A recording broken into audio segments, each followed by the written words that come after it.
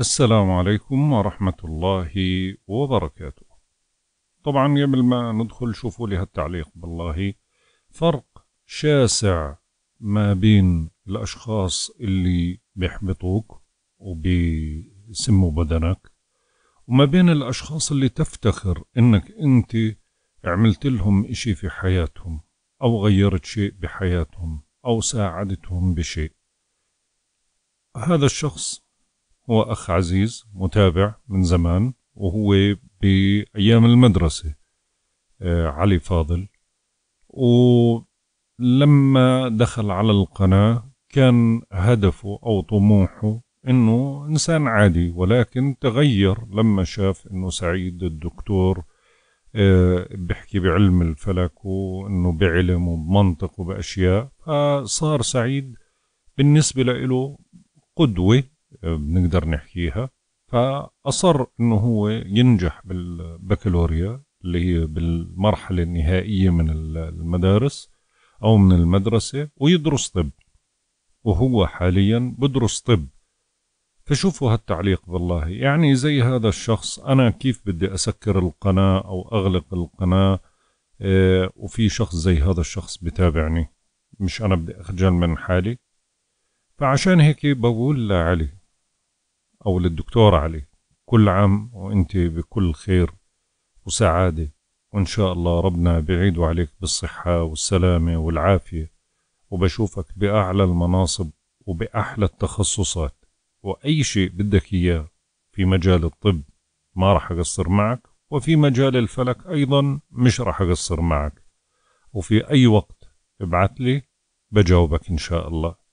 حبيبي الله يرضى عليك. انت لما بعثت لي الرسالة أنا كنت مسجل حلقة يوم السبت فحبيت إني وأنا بسجل في هاي الحلقة إني أنا أحط تعليقك معلش بعد إذنك يعني وأقول لك وجميع المتابعين يهنوك ويقولوا لك كل عام وأنت بخير.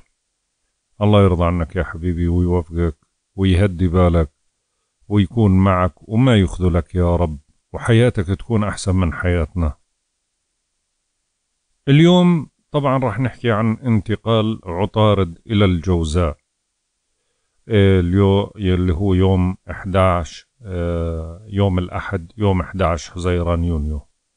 طبعا هو راح ينتقل انتقال سريع إحنا بنسميه لأنه حركة عطارد الآن سريعة لأنها بتحاول إنها تلحق الشمس لأنه دائما الزهرة وعطارد بيكونوا حوالين الشمس يعني يا قبل البرج يا بعد البرج يا يعني حواليها. فعطارد بيحاول إنه يلحق بالشمس الآن. آه هو عملية دخوله آه راح تكون آه اللي هو زي ما حكينا يوم الأحد 11 6 في تمام الساعة 10 و26 دقيقة صباحا بتوقيت غرينتش. وراح يظل بحركته في برج الجوزاء ليوم 27 6 آه، طبعا هو في أول ساعات يوم 27 ستة يعني بنقدر نقول إنه آه، بتوقيت الشرق الأوسط صباح أو فجر 27 آه، ستة ولكن على توقيت غرينتش بيكون يعني دقائق بسيطة بعد منتصف الليل. طيب كوكب عطارد دائما إحنا بنحكي هو المسؤول بتأثيراته على قدرة التفكير ونقل الأفكار للغير تقوية الذاكرة بيتحكم في الاتصالات والمواصلات. وطبعا دخوله على الجوزاء هو الكوكب المتحكم في برج الجوزاء يعني هو داخل على بيته بمعنى آخر. فعشان هيك راح يكون بقوة عالية جدا إلا أنه في بعض الزوايا شوي ممكن تقلل من طاقته. الآن عطارد لما بيكون في حالة سعيدة أو بشكل آه، زوايا سعيدة. أو إيش بيعطينا إحنا بالكامل؟ هو بيعطينا الفضول والعفوية قوة الاتصال قوة التعبير إيصال المعلومة عشق الحرية النشاط آه، الفكري النشاط الحركي آه، تحليل الأمور بشكل دقيق وبيتحكم بالاتصالات والمواصلات أيضا. ولكن في حال انتحاسته أو تشكل زوايا سلبية فورا فورا أول شغلة بنحطها في البال تسرعنا وعصبيتنا. هدول أهم شغلتين في أثناء سلبية عطارد إن كان بزوايا في بيته تراجعه. هاي أول تأثير بنحطه بالحسبان. ومن المعروف أنه كوكب عطارد هو المسؤول عن النشاط الفكري والذكاء والكتابة والتحليل والاتصال والتواصل قوة الحدس قوة الحركة وتأثيراتها المباشرة والغير مباشرة. طبعا عطارد بظل بحركة أمامية آه، في له تراجعات ثلاث مرات كل سنة. طبعا هو أنهى آه، تراجع لسه ضايل له كمان تراجع جاي على الطريق. فيعني بدنا نجهز حالنا لهذا الموضوع. هو له تأثير مباشر على القشرة الدماغية أو فص الجبهة أو ما يسمى بالعين الثالثة. بحفزها بحفز هرموناتها بشكل قوي جدا. عشان هيك بتصير نظرتنا للأشياء والأمور من حولنا عميقة جدا وأبعد رؤية. وطبعا عطارد بحركته الأمامية دائما بتدل على اكتشافات جديدة إلها علاقة بالتكنولوجيا إلها علاقة بالاتصالات بالمواصلات بالعقارات الطبية آه، له ابتكار بالبرامج والأشياء اللي إلها علاقة بالإلكترونيات آه، طرح أشياء غريبة جديدة على الساحة. يعني آه، بعطينا آه، برضو بمدنا برؤية واضحة لأمور حياتنا وبصير عندنا قدرة على استيعاب كثير من الأمور. طبعا بيستفيدوا مواليد برج الجوزاء هم أكثر الأشخاص لأنه عندهم. بيستفيدوا في مجال الدراسة والمطالعة والاتصالات والمواصلات. آه، والمواليد الأبراج الهوائية الأخرى اللي هي النارية أو الهوائية والنارية الميزان والدلو والحمل الأسد القوس. وكل شخص لما انولد كان عطارد عنده في ساعة ميلاده في برج الجوزاء. طبعا آه، نقصد هنا برج ونقصد هنا طالع. الأشخاص اللي بينولدوا عطارد بيكون عندهم بالجوزاء بما إنه هو كوكبهم المتحكم معناته بده يعطيهم طاقة عالية جدا فبيتمتعوا هدول بقدرة تفكير ودماغ قوي ونشط وقدرة على آه، القرارات واتخاذ القرار السريع سرعة البديهة وقدرة على المواجهة. آه، حل مواضيع ومواجهة مواضيع صعبة. يعني قدرة التحليل عندهم بتكون مميزة أو بنقدر نقول الذكاء أو آه، آه، سرعة البديهة يعني بتكون عالية جدا. أكثر طبعا الأشياء اللي دايما بنحكيها إحنا إنه الزوايا تتحكم بصعودة ونحوسة الكوكب أو في أثناء مكوثه في البرج. فعشان هيك ما بنعتمد حتى لو كان هو في آه، في بيته وبيعطيه طاقة عالية جدا إلا أنه في لحظات معينة لما بشكل زوايا سلبية إلا الزوايا السلبية هاي بدها تنزل من طاقته. يعني اللي نفترض أعطاه آه، مية في المية وأجا زوايا سلبية كثيرة. طب طبيعة الحال بدها تنزل الطاقة هاي بدها تصير سلبية. ما بقدر أنا أقول لا لأنه في بيته معناته طاقته معناته صح. طب والزوايا ما إلها تأثيرات برضو معناته ما بقدر ألغيها. اللي بيتحكم بصعودة ونحوسة الكوكب الزوايا. طيب إيش الزوايا اللي راح تتشكل؟ آه، أثناء تواجد عطارد آه، ببرج الجوزاء. الآن يوم 11 ستة في زاوية تثليث آه، بتيجي ما بين عطارد وما بين بلوتو وهي تأثيراتها بدأت من يوم 8 6 ومستمرة ليوم 14 6 وبما أنها تثليث معناته زاوية إيجابية وبتعطي طاقة إيجابية. آه، سرعة آه، القرار وبرضو الحدية بالقرارات وأيضا تحليلنا للأمور الغامضة واهتمامنا بالعلوم الغامضة بصير أكثر أما بالنسبة للزاوية التي تليها وهي بعد الانتقال اللي هو أول زاوية يوم 15 ستة بين عطارد راح يشكل زاوية تربيع سلبية مع زحل. وهاي شوية بتعطينا عصبية تسرع بالقرارات إيه، نشعر بالإحباط الوسواس والأفكار السوداء بتسيطر علينا. طبعا هاي الزاوية تأثيراتها من يوم 12 6 ليوم 18 6 وبحذر من آه، أثناء قيادة السيارات وأثناء الحركة من الإصابات.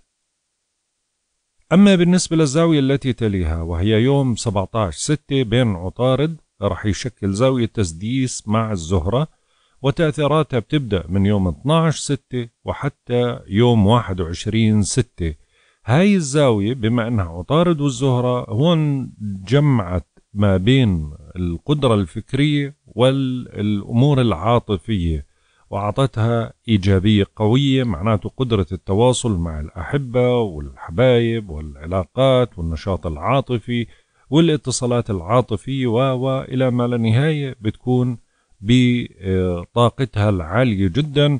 وبصير في نشاط بالفترة هاي للأمور اللي إلها علاقة بالتجميل أو السعي نحوها أو الابتكارات التجميلية. أما بالنسبة للزاوية التي تليها وهي يوم 21 ستة وهي زاوية تسديس بين عطارد وبين المريخ هاي آه، زاوية إيجابية وقوية جدا وتأثيراتها من يوم 18 ستة ليوم 24 ستة بتعطي طاقة للحركة للنشاط للمنافسات الرياضية للأمور اللي بتتطلب آه، حركة وقوة في نفس اللحظة. وأيضا إلها علاقة بالطاقة الإيجابية للأشخاص اللي بيعانوا من بعض الأمور الجنسية أو الضعف الجنسي لأنها بتعطيهم طاقة عالية جدا. آه، بننشط في كل المجالات اللي بتتطلب للأمرين هدول أعطتنا كمان طاقة إيجابية. أما بالنسبة للزاوية التي تليها وهي الأخيرة هي زاوية بتصير يوم 25 ستة زاوية تربيع سلبية بين عطارد وبين نبتون وهي تأثيراتها من يوم 23 ستة ليوم 28 ستة. بما أنه عطارد ونبتون هون اجتمعت الحركة مع الخيال. معناته وتربيع معناته هون بنصير نحكم على الأشياء بشكل بالظن أو بدون ما نتبين بس مجرد ما أنه إجانا إحساس أو شكينا أو حتى آه، هيك أجانا تلميح بالخيانة بالغدر بالهاي على طول الخط بنتخذ قرارات متسرعة. فبصير في عنا فوضى في هاي الأمور. فحاولوا قدر الإمكان في هذا التاريخ إنه ما تأخذوا بالشك ما تأخذوا بالظن. الأحلام والكوابيس بتكثر بهاي الفترة الأرق والقلق والتعب العصبي التقلب بالمزاج بصير عالي جدا والشكوك بالأحبة بصير عالي جدا. كمان بما أنه عطارد ونبتون هنا هاي الفترة بتركز على بعض الأمور اللي إلها علاقة بالمياه مثل ناقلات النفط أو البواخر أو الأمور اللي إلها علاقة بالأمور البحرية فعشان هيك هاي الأشياء بصير عليها علامات استفهام خوفا من الحوادث أو الأمور وتقلبات المناخ اللي إلها علاقة بالمياه أيضا. طيب يا سعيد خلص بكفي. خلينا نروح على التوقعات ونسمع كل واحد إيش بدك تحكي عنه. برج الحمل. بالنسبة لمواليد برج الحمل طبعا عطارد بما إنه راح يكون بالجوزاء يعني البيت الثالث لإلكم فهنا راح يعطيكم قوة التواصل والاتصال والتعبير عن آرائكم والمكانينكم للآخرين. وهذا الشيء راح يكون بطريقة مميزة جدا. وبتقدروا توصلوا أفكاركم والأشياء تسويق الأفكار الأشياء الفكرية والعقلية بتجذبك المواضيع الكبيرة تجهدوا متعة حقيقية في التنقلات اليومية والسفريات القصيرة. في ناس كثير من مواليد برج الحمل ممكن يصير عندهم سفر سريع أو سفر قصير اللي هو بسافر لبلد وبرجع بشكل سريع. في نوع من أنواع السعادة والنشاط والحيوية آه، لا سيما مع الأشخاص المقربين منك مثل الإخوة ومثل الجيران. وهي أفضل فترة آه، بتكون لطلاب برج الحمل خصوصا الثانوية العامة أو اللي عندهم امتحانات بالفترة هاي على مستوى الدراسة الاستيعاب النشاط الفكري العالي. شوي ممكن تجدوا أنفسكم مدفوعين لتعزيز العلاقات مع الإخوة ومع الجيران وطرح أفكار تشاركية معهم. الاهتمام برضو راح يصير في مجال الإلكترونيات والسيارات. برج الثور. بالنسبة لمواليد برج الثور طبعا هنا راح يكون في بيت المال النشاط عطارد فمعناته هنا راح يفتح فرص مالية حقيقية ومكاسب واضحة.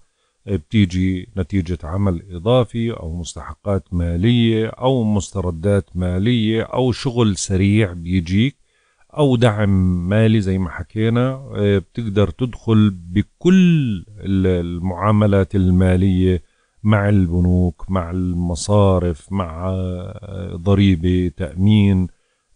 أو البدء بمشروع مالي جديد ولكن برضو في الزاوية اللي ما السلبية اللي بتتشكل اللي دائما بنهدد منها إنها هاي لها علاقة بالخسارات المالية. بتقول لك إنه قبل ما تخطي ادرس المشروع بشكل جيد ولكن آه، عليك برضو إنك تنتبه من الإسراف لأنه بالفترة هاي بصير عندك آه، حب لصرف الفلوس أو رغبة باقتناء أشياء ممكن أنت تكون مش بحاجتها. عندك أفكار مهمة جدا وهاي الأفكار ممكن تترجم وتعود عليك بأرباح وفائدة. حاول إظهارها للعلن حاول إنك تستغلها وتنشط بهذا المجال لأنه تعطيك فرصة قوية. برج الجوزاء.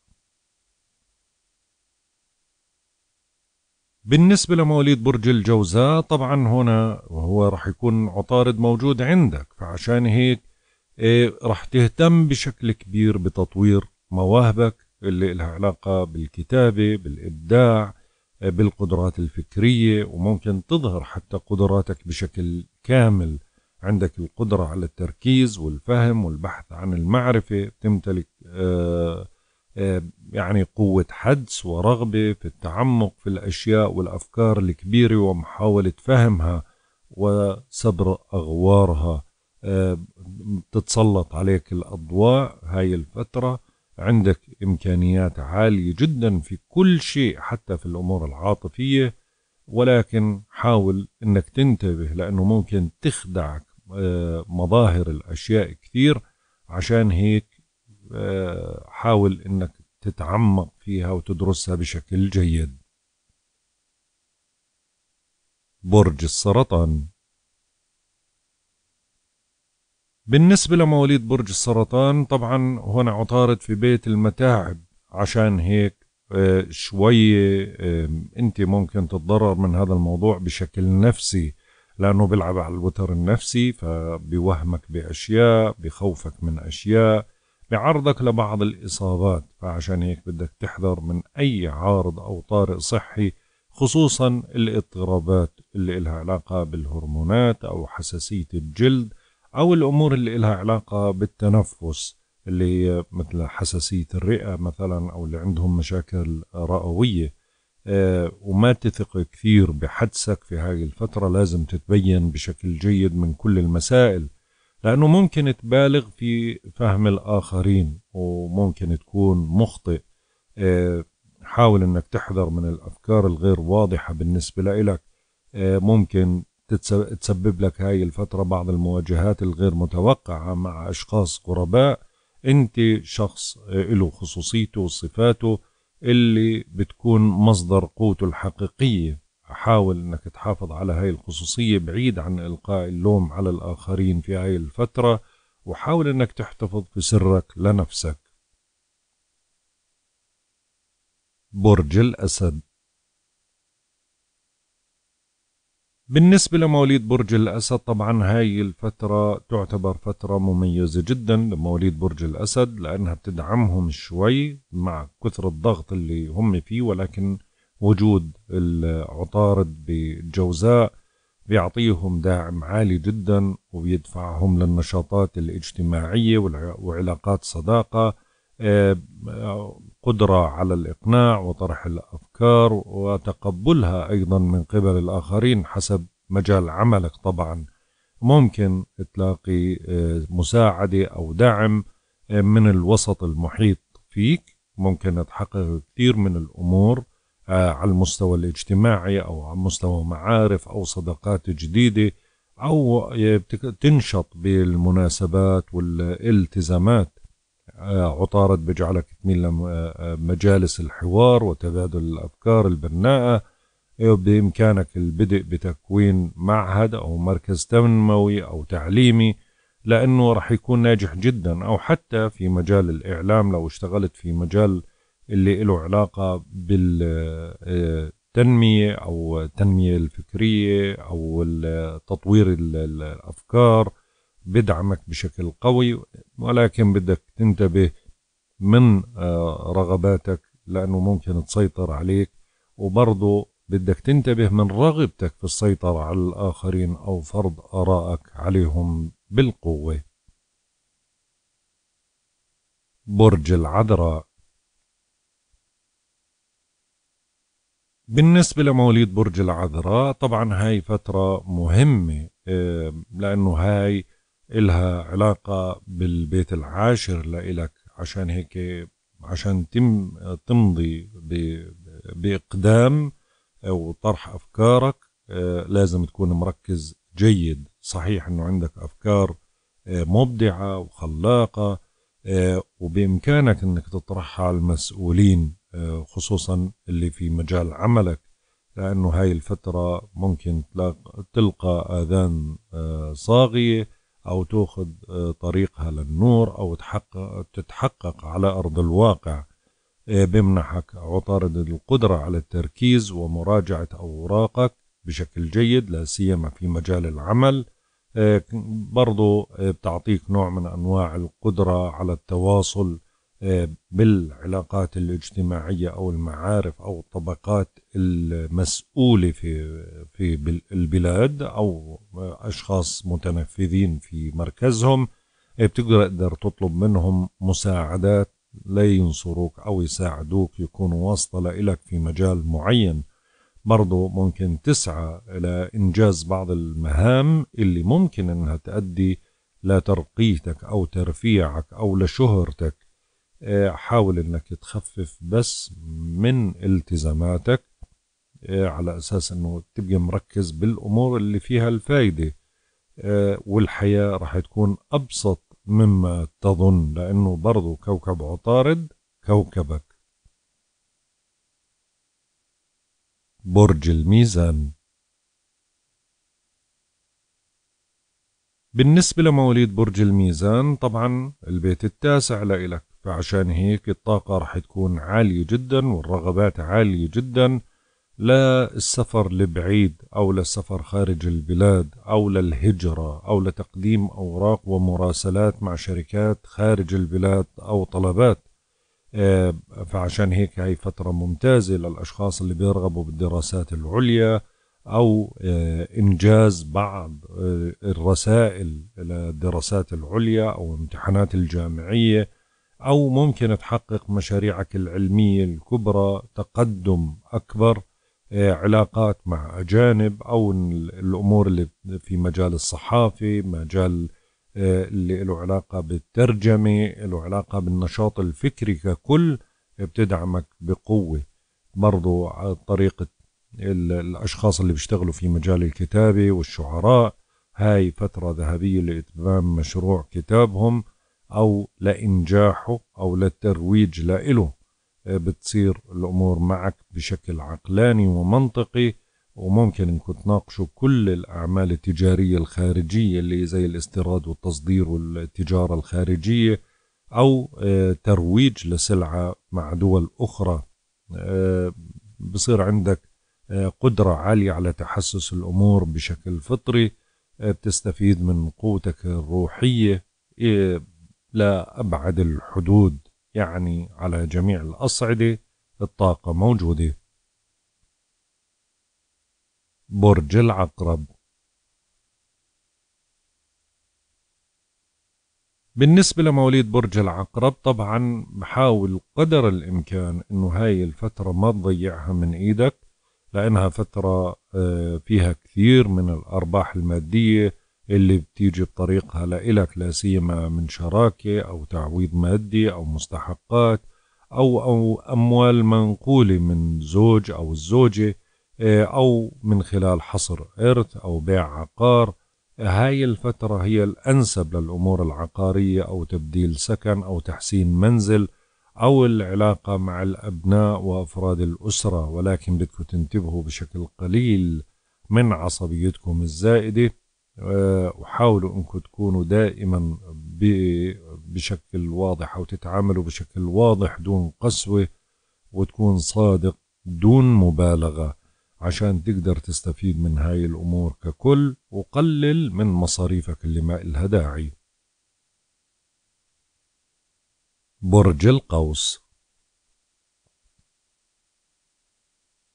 بالنسبة لمواليد برج القوس طبعا تعتبر بالنسبة لك هاي الفترة من أفضل الفترات على الإطلاق لأنها هاي بتعيد معظم الأشياء لنصابها الصحيح فيما يخص علاقتك العاطفية آه، أو أنك تدفع فيها نحو الأمام بشكل كبير أو تطوير علاقة لمرحلة الارتباط مثلا أو الحوار مع الشريك أو المصالحة. طبعا بدك تستغل اللي هي الزوايا اللي ذكرناها إيجابيتها وسلبيتها وتلغي العصبية. وهي أفضل الطرق لحل الأمور أو تدعيمها بما يرضي عقلك. آه، وعندك قدرة على البحث الجيد. بتمتلك هاي الفترة قدرة كبيرة على الإقناع ونشر التأثير في الآخرين بطريقة مدهشة عند هاي الفترة آه، مهمة جدا على مستوى الشراكة العملية. برضو بتمنحك آه، طاقة لفرض شروطك الخاصة على شركائك في العمل وبرضو بدون ما تتنازل عن أي شيء ما في مصلحتك آه، وطبعا بعيد عن الاستغلال.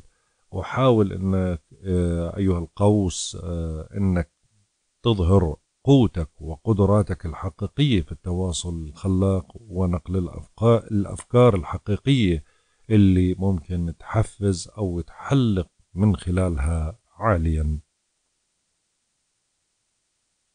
برج الجدي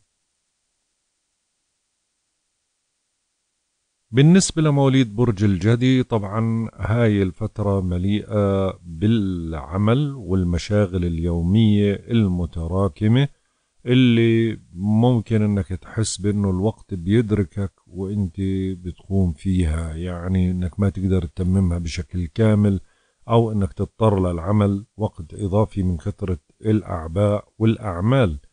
إيه وإنت راح تكون في هاي الفترة بحاجة لوقت إضافي كثير. أهم شيء إنك ما ترهق نفسك في كثير من الأعمال. حاول إنك تهتم بالأعمال الضرورية واللي فيها منفعة لإلك آه أنت على يعني طبيعة مواليد برج الجدي آه يعني حياتهم دائما لازم يكون فيها الإشي اللي بيأثر فيهم على مختلف علاقاتهم. آه فعشان هيك حاول قدر الإمكان ما تنسى كل شيء وممكن تتخلى عن كثير من الأشياء عشان ترضي نفسك في عملك. الفترة هاي بتركز بشكل كامل على العمل فعشان هيك بدك تركز لأنك بدك تستفيد لأن هاي الفترة ممكن يجيك عرض لعمل أو تبدأ بعمل أو يتوجه لك إتمام بعض الأعمال المهمة فلازم تكون مركز بشكل جيد.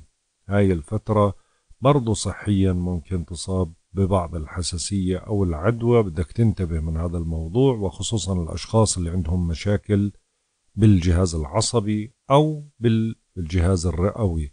انتبهوا وما تبالغوا في تقدير الأمور. آه، حاول أنك تكون شخص صبور جدا. آه، ورغم أنك أنت عنيد جدا آه، وما بتستسلم بسهولة ولكن وأنا واثق أنك راح تقدر تنجز كل الأمور ولكن الصبر هو الأساس. برج الدلو.